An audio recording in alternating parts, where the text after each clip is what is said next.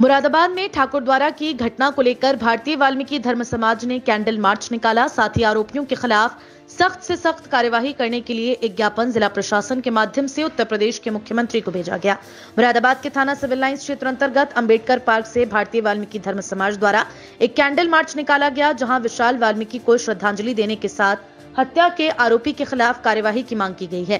Candle march Ambedkar park से शुरू होकर सिविल लाइंस क्षेत्र में घूमता हुआ पीली कोठी जाकर समाप्त हुआ, जहाँ जिला प्रशासन के अधिकारियों के माध्यम से उत्तर प्रदेश के मुख्यमंत्री को ज्ञापन भेजा गया, जिसमें आरोपियों के खिलाफ सख्त से सख्त कार्यवाही करने की मांग की गई है। इस दौरान अशोक कुमार, रोहित कुमार, सोनू वाल्मीकि, नवदीप कुमार, बलदीवीर भारती के साथ भारी संख्या में भारतीय वाल्मीकि धर्म समाज के पदाधिकारी एवं सदस्य मौजूद रहे।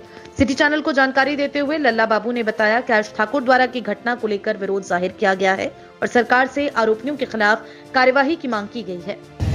देखिए, ठाकुर द्वारा तहसील में एक विशाल वाल्मीकि सत्ताईस तारीख को रविवार के दिन तीन लोगों ने हत्या कर दी थी। जिसमें सभी अभियोक्ता सुबह तक पकड़े गए हैं। अब हम ये उसके आत्मा की श्रद्धांजलि के लिए हमने कैंडल मार्च निकालना है। और दूसरा ये मांग करते हैं आपके चैनलों के माध्यम से, आपके मीडिया के माध्यम से, कि उस परिवार को करीबन करीबन एक करोड़ की सहायता दी जाए और एक उसके घर में सरकारी नौकरी दी जाए, क्योंकि परिवार गरीब है। कल मैं वहाँ मौके पर गया था और सब कुछ देखा था। उसके पिताजी से माताजी से और सभी से इतना सारा बच्चा है उससे भी मैंने बात करी थी। तो और ऐसी निर्मल हत्याओं पर सरकार रोक लगाए यूँ कि सरेआम बाज़ार में गोली मार देना। तो ये सवाल का विषय है। कहीं ना कहीं ऐसी कार्य घट रही है दिन दहाड़े गोली मारी है सीसीटीवी में कैद हुआ भले ही पुलिस ने अपराधियों को पकड़ लिया हो मगर कहीं ना कहीं सरकार की नाकामी जंगल राज। हाँ ये तो है ये तो है। जंगल राज है।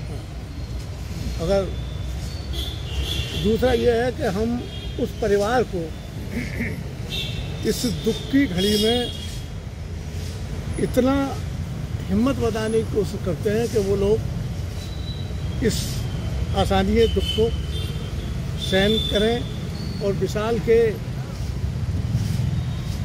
प्राणों को संतोष मिले और पीछे जो आए हुए हम सबका कर्तव्य बनता है कि हम लोग हम लोग उसके परिवार के साथ हैं।